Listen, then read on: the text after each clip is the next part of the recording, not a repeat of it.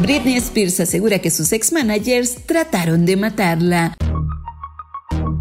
Hola, yo soy Maffer y esto es Chicas Cosmo y así como lo estás escuchando, la princesa del pop acaba de hacer una revelación bastante fuerte en Instagram en donde dijo que creía que su antigua empresa de gestión empresarial, o sea, sus managers, la querían muerta. Pero eso no fue todo. Britney también dejó en claro que entre sus planes se encuentra una demanda millonaria en contra de su antigua empresa de gestión empresarial llamada Tristan Sport Entertainment Group, una empresa muy involucrada durante su tutela. En la publicación Britney detalló un viaje que hizo a las oficinas de TriStar, en donde el fundador de la empresa, Lou Taylor, y su socio Robin Greenhill la llevaron a almorzar, donde la adularon e intentaron hacerla sentir muy especial. Curiosamente, una semana después, dice que fueron estas mismas personas quienes la enviaron a ese maldito lugar, una referencia al centro de salud mental en el que Britney estuvo ingresada en el año 2019. Y es que, para aquellos que no lo sepan, los informes que se manejaban en ese momento aseguraban que Britney se había registrado a sí misma dentro de la instalación. Sin embargo, al parecer esto no fue cierto. En esa época se dijo que Britney estaba sufriendo de un colapso por encontrarse demasiado angustiada por la enfermedad de su padre. Sin embargo, en este momento, Britney está afirmando que eso es completamente falso, que ella se encontraba separada de su padre y que se siente realmente mal puesto que adoraba a Lou y a Robin y que por ellas hubiera hecho cualquier cosa. Las palabras de Britney fueron, creo que estaban tratando de matarme. Hasta el día de hoy creo que eso es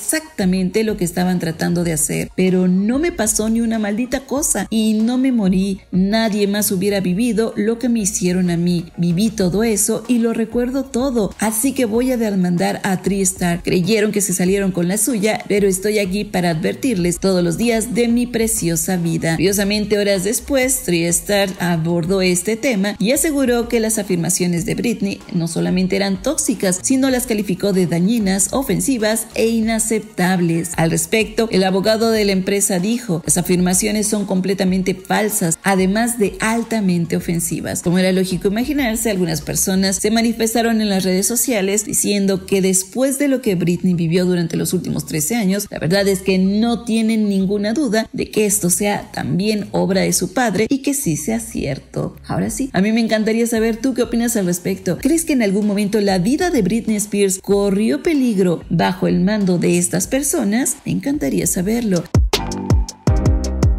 Si este video te gustó, te invito a que te suscribas a este canal. Además, no olvides activar la campanita de notificaciones para que siempre seas de los primeros en ver nuestros nuevos videos. Por el momento, esto es todo. Les envío cariñosos saludos y recuerda, yo soy Maffer y esto es Chicas Cosmo. Hasta la próxima.